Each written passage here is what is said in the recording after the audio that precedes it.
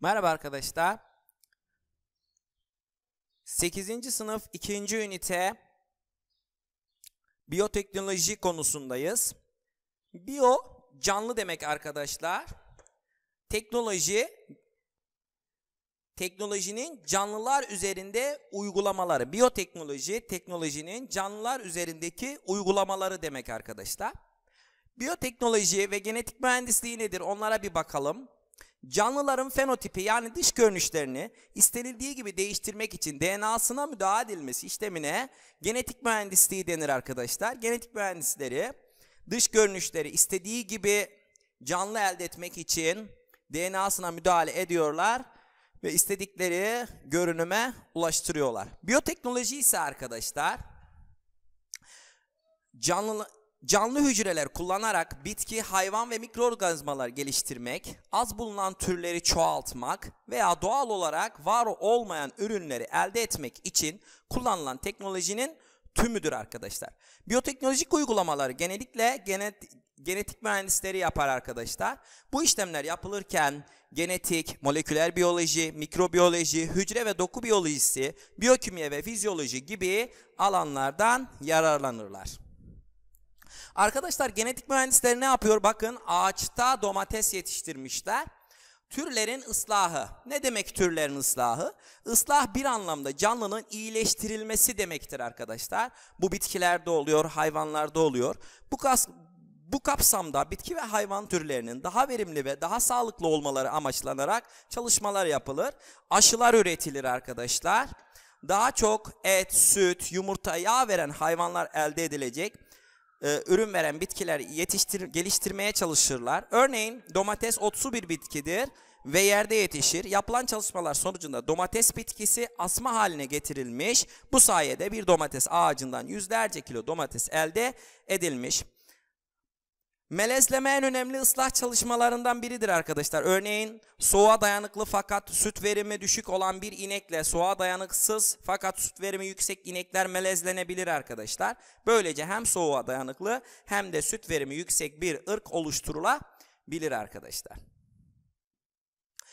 Yine bir biyoteknolojik uygulama Aşılama arkadaşlar meyveler genel olarak tohumla üretildiklerinde karakterlerini kaybederler. Çünkü neden? Farklı bir meyvenin tohumuyla e, veya gelişmemiş bir meyve tohumuyla melez döllenebileceği için yabanileşebilir. Bunun önlenmesi için aşılama yapılır. Aşılama iki bitkinin bir bitkiymiş gibi kaynaşarak büyüme büyümeye devam edecek şekilde birleştirilmesine denir. Bunun için çoğaltılması istenen çeşitten bir dal parçası alınır. Bu aşı kalemiyle buna aşı kalemi denilmektedir. Bir parça de, diğer bitki üzerine yerleştirilip tutturulur. Bu sayede del, dal yetiştirilen bitki, anaç bitki bizim istediğimiz gibi meyve oluşturur arkadaşlar. Yine bir olay gen aktarımı bir canlının hücrelerinde başka bir canlının DNA'sının belli bir bölümünün yerleştirilmesine gen aktarımı denir. Bu sayede canlılar istenilen değişiklik yapılabilir. Bazı örnekleri şu ateş böceklerinden alınan genin tütün bitkisine yerleştirilmesi sonucunda geceleri tütün bitkisinin ışık yaymaya başlamışlar. İnsanlardan alınan ve insülin hormonu üretmekte görevli olan gen bitkilere aktarılarak bitkilerin insülin hormonu üretmesi sağlandı. Şeker hastaları insülin vuruyorlar ya arkadaşlar onun hormonunu bitkilerden elde ediyorlar. İnsan insülini modern biyoteknolojik bir ürün olarak ilk kez 1982 yılında üretilmiştir. Bu yöntemle büyüme hormonu da elde edilebiliyor arkadaşlar. Bakın burada da gösterilmiş. İnsülin artık vurulmaya hazır hale gelmiş.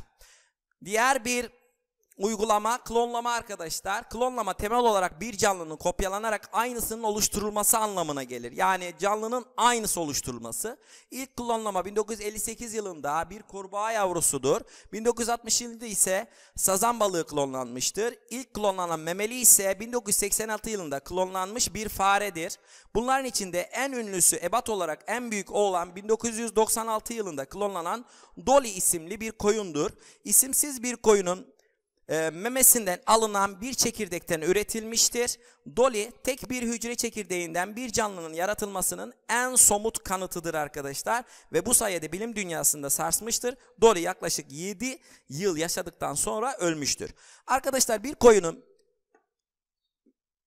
memesinden alınan verici hücre, hücre çekirdeği alınıyor.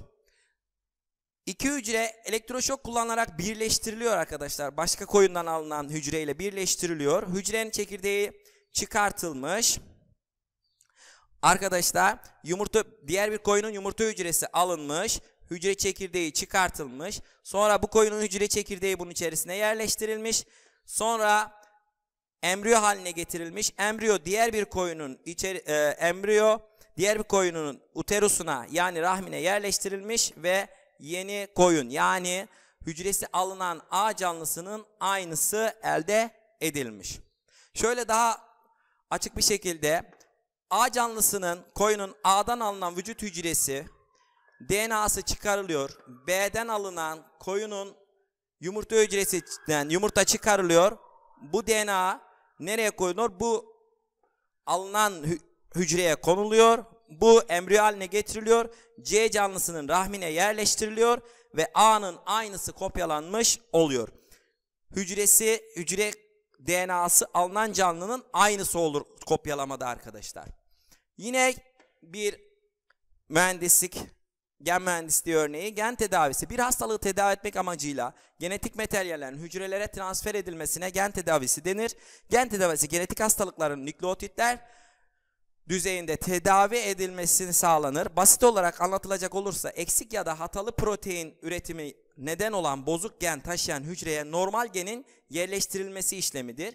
İlk gen tedavisi 1982 yılında Martin Klein tarafından talasemi hastalığı için uygulanmıştır. 1997 yılında ise e, immün yetmezlik yaşayan iki çocuk Michel Blaise ve William French Anderson tarafından gen aktarımı sayesinde tamamen iyileştirilmiştir arkadaşlar. DNA'mızda yaralanan ba bazıların yer alan bazı, bazıların arkadaşlar hepimizde farklılık gösterir. Belirli tekniklerle bu dizilimin tıpkı mürekkebe bastırılmış parmak izi gibi izinin çıkarılmasına DNA parmak izi adı verilir arkadaşlar. Şöyle bir örneği var. Nasıl her insanın parmağı parmak izi farklıysa DNA parmak izi de birbirinden farklıdır arkadaşlar. Biyoteknolojinin uygulama alanları, tıp alanında biyoteknoloji uygulamalar, sağlıklı insanların vücudunda hormon adını verdiğimiz kimyasal yapılar, sıvılar üretilmektedir. İnsanlar tarafından üretilemeyen ya da gereğinden az az üretilen bu hormonların laboratuvar şartlarında bakteri hücrelerinde üretilmesine biyoteknolojik bir çalışmadır. Yani insülin ve büyüme hormonu üretilmesi, Kanser, AIDS, lösemi, hemofili gibi hastalıkların tedavisinde bu hastalıkların önlenmesinde kullanılacak genetik ürünlerin elde edilmesi yine biyoteknolojik bir çalışmadır. İlaç yolu ile tedavi edilmeyen hastalıklar aşı yine biyoteknolojik bir çalışma. Antikor, vitamin, antibiyotik üretimi yine biyoteknolojik bir çalışma. İnsan DNA'sında zararlı genlerin ayıklanması, tıbbi hayvan ve bitkilerin üretimi, biyoteknolojik çalışması. Olumsuz şartlarda dayanıklı mikroorganizmalardan enzimler elde edilmesi ve bu enzimlerden sanayi alanında faydalanması, genetik hastalıkların tedavisi için kök hücrelerin saklanması, DNA teknolojisine dayalı olarak annelik ve babalık testlerinin yapılması, parmak DNA parmak izinden yaralanarak adli tıpta suç tespiti, bir canlıya ait özelliğin başka bir canlıya aktarılarak geliştirilmesi, yeni ilaç moleküllerinin geliştirilmesi, biyoteknolojik çalışma, Akdeniz anepsi hastalığın tedavisi yine biyoteknolojik bir çalışma arkadaşlar. Tarım alanında biyoteknoloji uygulamaları, daha verimli, sağlıklı ve kaliteli ürünler elde etmek, buğday, pamuk, domates, yağ bitkileri gibi ekonomik değeri fazla olan bitkilerin çoğaltılması, tarımsal zararlara karşı bakteri, virüs, mantar dayanıklı bitkilerin elde edilmesi, hayvanların daha verimli hale gelmesi, daha kaliteli ürünler vermesi, hayvanların sağlık sorunlarını azaltmak için aşı üretiminde yine biyoteknolojik çalışmalardandır. Gıda alanında biyoteknolojik çalışmalar, meyveli yoğurt, vitamin tabletleri, çekirdeksiz karpuz üretimi, daha büyük meyvelerin üretilmesi, daha uzun raf ömrü olan gıdaların geliştirilmesi, genleriyle oynanan gıda maddelerinin kontrolünde, zararlı madde içeren gıdaların ortaya çıkarılmasında biyoteknolojinin den faydalanılır. GDO genetiği değiştirilmiş organizma demek. Endüstri alanında biyoteknoloji uygulamaları atık sularda yaşayan bakterilerin suyu temizleyen faydalı bakterilere dönüştürülmesi, yüksek sıcaklıklar dayanıklı bakteriler enzimlerinden faydalanarak PCR üretilmesinde biyoteknolojinin faydalanmaktadır. PCR arkadaşlar DNA'da uygun gen dizimlerinin kopyalanmasına PCR deniliyor. Bunlar arkadaşlar endüstri alanında çok kullanılmaya başladı. Atık suları temizleyen bakteriler üretilmesi şu an gündemde olan bir özellik. Biyoteknolojinin yararları da var, zararları da var arkadaşlar. Yararları bulaşıcı ve salgın hastalıkların tedavisi, yapay hücre ve dokular meydana gelmesi, kansere gen tedavisi, kanserde gen tedavisi, tarıma verimi arttırma, hayvancılıkta daha verimli ürünler elde etmesi ve nitelikli tohum biyoteknolojinin yararları iken biyolojik silah yapımı, GDO'lu sebze ve meyve üretimi, genetiği değiştirilmiş organizmalı sebze ve meyve üretimi, biyoteknoloji kullanımı nedeniyle toksik atık oluşumu, birçok çalın canlının ölmesine ve besin zincirlerinin bozulmasına neden oluyor. Do- doğal denge ve döngüleri bozuyor. Çevre kirlenme, e, kirliliklerinin yaşanmasına neden oluyor. Bunlar da zararı. Peki arkadaşlar genetik mühendisliği ile biyoteknoloji arasındaki farkları nasıl anlayacağız? Bu hep kafa karıştıran bir konudur. Şöyle anlayacağız arkadaşlar. Canlıların kalıtsal özellikleri değiştirilerek onlara yeni işlevler kazandırılmasıyla ilgili araştırmalar yapan bilim dalına genetik mühendisliği diyoruz. Canlının doku ve organları kullanılarak uygun yöntem ve teknikler endüstri ve tıp alanında kullanılarak üzere istenilen ürünler elde edilmesine ise biyoteknoloji. Arkadaşlar kalıtsal özelliklerin değiştirilmesi genetik mühendisinin canlıların doku ve organları kullanılarak uygun yöntem ve teknikler endüstri ve tıp alanında kullanılmak üzere istenilen ürünler elde edilmesi dediğimizde aklımıza biyoteknoloji gelecek. Genlerin ayıklanması ve çoğaltılması, genetik mühendisliği, hastalık ve böceklere karşı dayanıklı bitki ve hayvanlar oluşturmak, endüstriyel atıkların temizleme bakteri üretmek, canlıları klonlamak, bir türün üstün olan özelliklerinin bir bireyde toplanması verimli canlı, türlerin elde edilmesi ıslah yine genetik mühendisliği, genom projesi, DNA, parmak izi, klonlama, gen tedavisi genetik mühendisliğin işi. Biyoteknoloji ise daha ucuz, daha kolay ve daha verimli ürünler elde etmek. Yani protein üretimi, hormon, vitamin tableti, antibiyotik, aşı, meyveli yoğurt, süt ürünleri, ekmek, sirke, turşu ve alkol üretimi gibi olaylar ise biyoteknolojinin işidir arkadaşlar. Bir örnekle devam edelim. Bir bölgedeki petrol kirliliğinin giderilebilmesi için işlemlerden hangisi biyoteknolojik uygulamalardır diyor. Bakalım.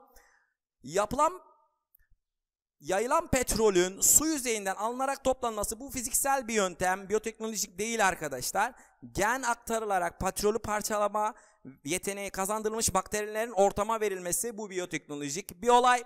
Katı maddelere tabaka halinde yapışan petrolün katı cisimlerle birlikte ortamdan alınması bu biyoteknolojik bir olay değildir arkadaşlar. Bu fiziksel bir olaydır. O halde yalnız iki cevabımız. Arkadaşlar YouTube Mıstık Fenci kanalına abone olup like atmayı unutmayın. Sizlerin desteğiyle bütün konuları anlatmayı düşünüyorum. Beni dinlediğiniz için teşekkürler arkadaşlar.